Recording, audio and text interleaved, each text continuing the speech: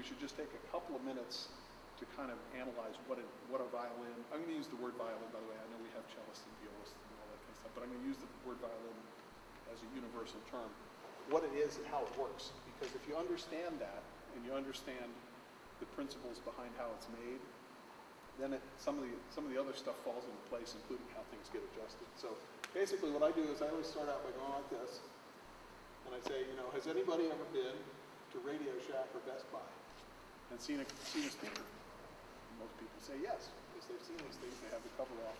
But what happens is they have a big speaker, they have a big box, and then they'll have a big speaker and a little speaker. And what they're doing is they're taking the audio spectrum that kind of looks like this, and they're cutting it down the middle. And this is the bass frequencies, and these are the treble frequencies. And what they're doing is they're using the bass frequencies to be reproduced by this speaker called the woofer, and the treble frequencies are going to be reproduced by the little tiny speaker called the tweeter.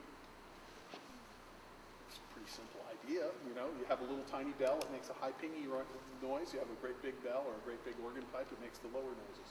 Well, the reason they're different sizes is because they're made of the same material. Okay? On a violin, the back of the violin is the tweeter. The front of the violin is the woofer. It's the same system. It's 300-year-old technology. It works great. But basically, it's the same system. The reason they're the same size instead of different sizes is because they're different materials.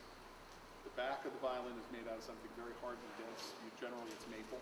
The top of the violin is basically made out of spruce or pine, which effectively has the same density as balsa wood, except for the little stripes that you see running through it, where basically the growth of the, the growth of the tree slows down in the wintertime, so the cells are closer together.